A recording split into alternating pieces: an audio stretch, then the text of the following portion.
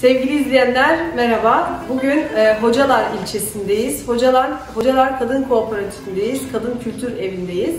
E, hanımlarımız burada bulgaz mantısını yapıyorlar. Kendi el açma mantılarını kendi elleriyle yapıyorlar, fırınlıyorlar ve bize e, sunuyorlar.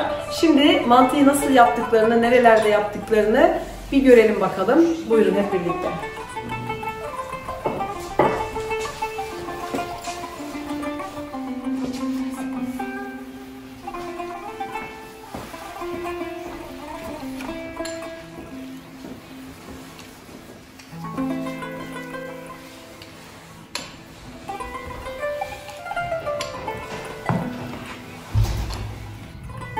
Mantılar ev usulü, el yapımı, ee, annemizin eli değmiş gibi ki annemizin eli değiyor.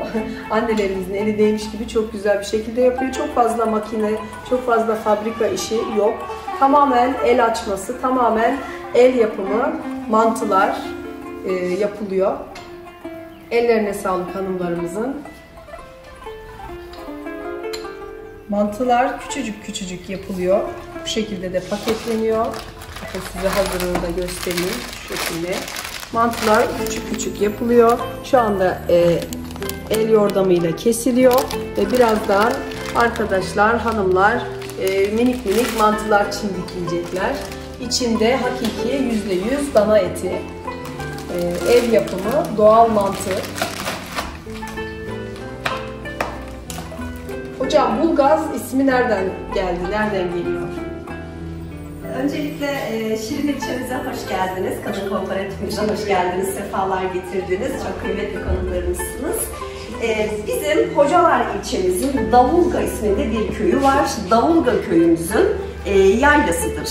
E, Bulkaz e, Dağları. E, Bulkaz Dağları'nda, e, Bulkaz Dağları'ndan alıyor ismini. Bulkaz Dağları'ndan e, Bulkaz ismini verdiniz mantıya. Gayet güzel. Evet. E, siz burada mantıyı yapıyorsunuz. Bayağı da gördüm herhalde çok fazla fabrikasyon yok. Sadece şurada birazcık makineyle bir yardım yordamıyla Evet. açıyorsunuz ama e, el yordamıyla yapıyorsunuz. El yordamıyla çimdikliyorsunuz. Çimdik Evet. diyorlar değil mi ona? Evet, diyorlar? çimdik mantı. Çimdik mantı ve gayet de küçücük küçücük Evet. yapıyorsunuz. Ee, ve ben e, tadına da baktım gayet lezzetli. Ee, yani ev mantısı bayağı Evet. annemizin eli değdiği gibi ki annelerin eli değiyor Evet. zaten. Çok teşekkür ederiz. Çok güzel de oluyor. Ee, inşallah e, seyircilerimiz de tadına bakarlar ve beğenirler. Beğeneceklerinden eminim ama tadına İnşallah. baksınlar bakalım. İnşallah. Öncelikle bizim mantımızın e, bir özelliği daha var. E, Kavrulmuş oluyor, fırınlanmış oluyor özelliği. Evet. E, Diğer türlü hamurlar birbirine yapışıyor, unlu oluyor. Evet. Bizim mantımız o şekilde değil, fırınlandığı için hafif bir kavrulmuş oluyor. Hani çocuklar atıştırmalık olarak bile tüketebiliyorlar. İçerisindeki kıyma kavrulmuş olduğu için Pişmiş bir olduğu evet, için. zararı Ve olmuyor. raf ömrü de daha uzun Evet, oluyor değil mi? kesinlikle.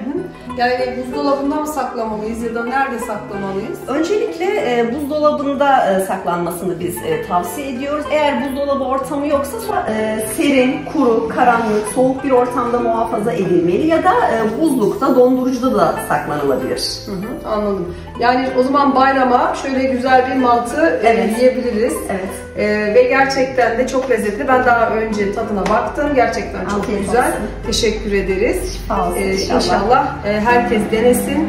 E, bu mantıyı aynı zamanda albikere.com'dan da sipariş edebilirsiniz.